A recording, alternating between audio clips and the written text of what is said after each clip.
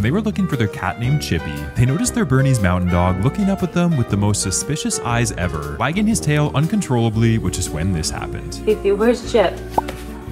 Apparently, these two love each other more than anything in the world, always cuddling up together and making for a super special friendship.